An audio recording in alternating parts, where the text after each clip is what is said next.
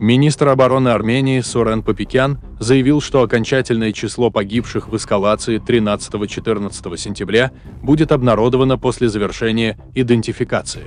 Передает Ази Ас. Сначала данные публикуются в Фонде страхования военнослужащих.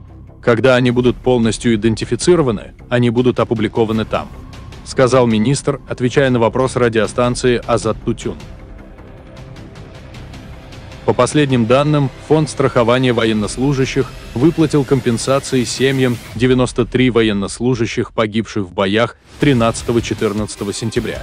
Список время от времени обновляется. Минобороны Армении не публиковала подтвержденного числа погибших после сентябрьских событий, заявив лишь, что общее число погибших и пропавших без вести составляет 210 человек.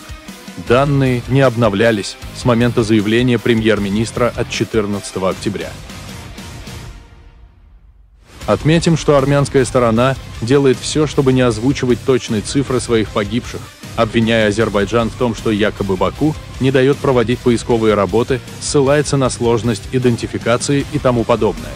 Судя по всему, армянским властям попросту страшно говорить о катастрофических потерях во время боестолкновений в сентябре.